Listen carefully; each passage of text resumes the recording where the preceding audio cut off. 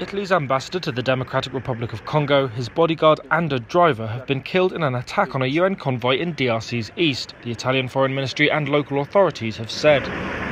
Ambassador Luca Attanasio, military policeman Vittorio Iacovacci, and the Congolese driver, whose name has not been released, were travelling with the UN's Organisation Stabilisation Mission in DRC, known as MONUSCO, on Monday morning, when they were targeted by unknown assailants.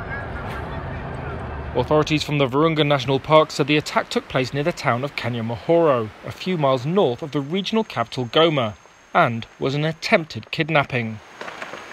Virunga stretches north from near Goma along DRC's border with Rwanda and Uganda. Dozens of armed groups operate in the area, and park rangers have been repeatedly targeted, including six who were killed in an ambush last month. Italy's Foreign Minister Luigi Di Maio expressed his great shock and immense sorrow.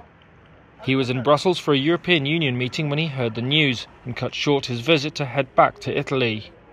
Attanasio was head of Italy's mission in DRC since 2017 and became ambassador in 2019. He was married and had three young daughters, according to his Facebook page.